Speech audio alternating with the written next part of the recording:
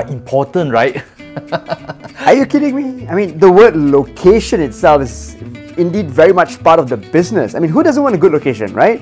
A place like constantly uh, jam and then a place of uh, there's no parking space. You don't want to choose a shady back alley business location, right? Mature neighborhood or at least a developing one, some place with good accessibility, you know, uh, you know, good traffic flow. I mean, you don't get stuck in traffic jams coming to the location. For example, I can pick a location is noticeable from the highway or the main road and it can attract hungry crowds provided they like my coffee and foods lah. Huh? Definitely, I would choose around a housing or residential area. I would say freehold commercial areas. Yeah, I mean a location that has um, matured neighborhood. I would choose somewhere where is the location is nearby the residential and the working crowds, so I can sapu all the customer lah, right?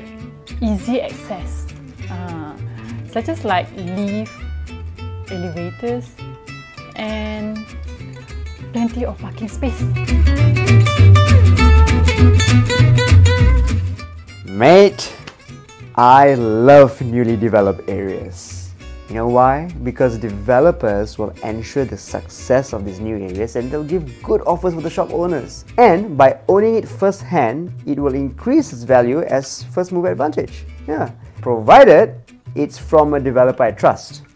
I think it depends like how isolated the place is, you know.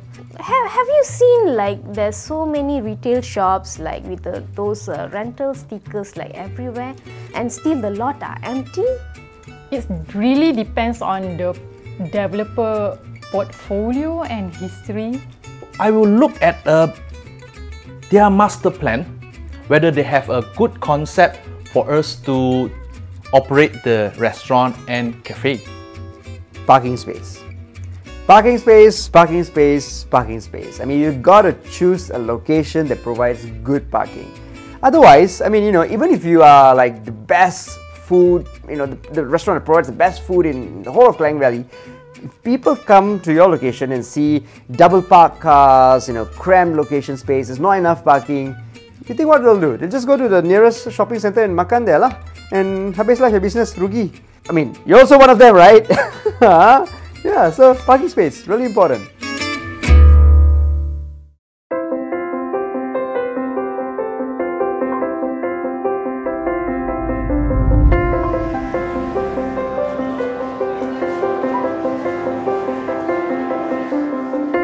Oh, Tropicana. That's the developer, right? Uh, it's somewhere around, surrounding the Shah Alam, uh, USJ and Subang Height, right? Direct link connecting Federal Highway and Tropicana Metro Park. Ample covered car park bays. Ah, you got me in ample car park bays. High visibility from main road and urban park. Open air outdoor alfresco design retail shop. Are you designing it for me? Huh? 88 acre freehold township consists of residential, education and greenery. Having an international school and park really do helps in terms of residential growth.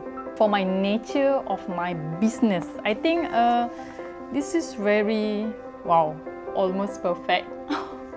Only lifestyle parkfront retail concept in Subang Jaya and Shah Alam with direct connection to urban park. Oh, this is really nice. With the main highways and a matured neighborhood nearby, it clearly gives a vibe that there's a lot of people with a high spending power around.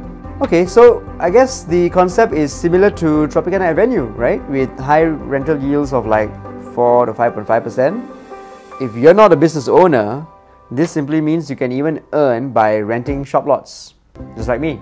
It's good that you have actually various uh, unit sizes, especially the smaller ones, you know, small entry costs.